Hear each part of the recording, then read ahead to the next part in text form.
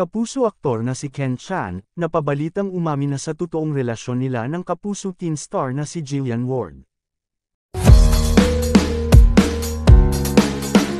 Maraming mga netizens na nagsasabi, hindi talaga may kakailan na bagay na bagay na maging love team ang aktres na si Jillian Ward at ang aktor na si Ken Chan. Nag-umpisang pag-usapan ang mga ito dahil sa tinamasang kasikatan ng kanilang tambalan na nagsimula sa teleserye ng GMA7 na abot kamay na pangarap. Marami nga ang kinilig at natuwa sa dalawa dahil kitang-kita ang chemistry at spark sa kanilang pagiging love team. Naging trending at usap-usapan ang kanilang tambalan dahil sa kakaiba nilang pagpapakilig sa kanilang manunood.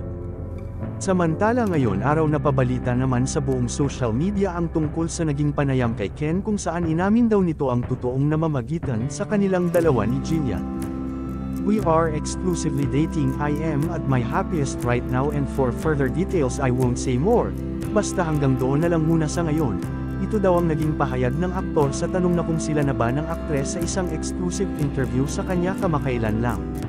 Sa ngayon maraming mga fans at supporters nila Jillian at Ken ang sobrang kinilig dahil sa naging pag-amin daw na ito ng aktor patungkol sa totoong estado ng relasyon nila aktres.